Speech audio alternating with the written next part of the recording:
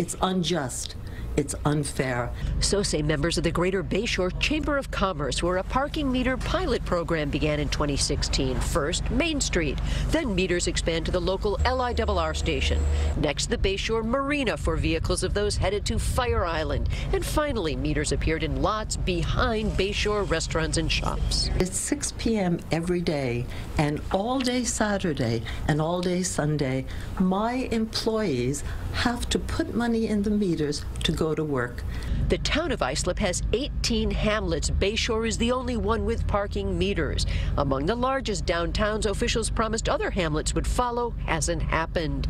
The business community is fighting back, circulating petitions, suing the town of Islip for failing to direct meter revenues directly into their community, instead earmarking it for the town's general fund. But we'd like to just have that money stay within Bay Shore, only be used in Bay Shore and exclusively. And we've kind of asked to sit down and work that out, and we've been told no.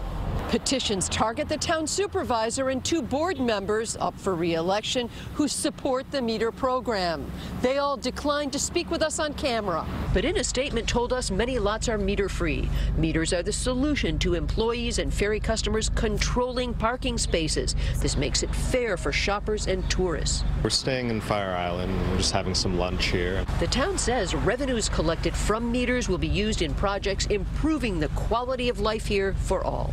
From Bay Shore, Long Island, Jennifer McLogan, CBS 2 News.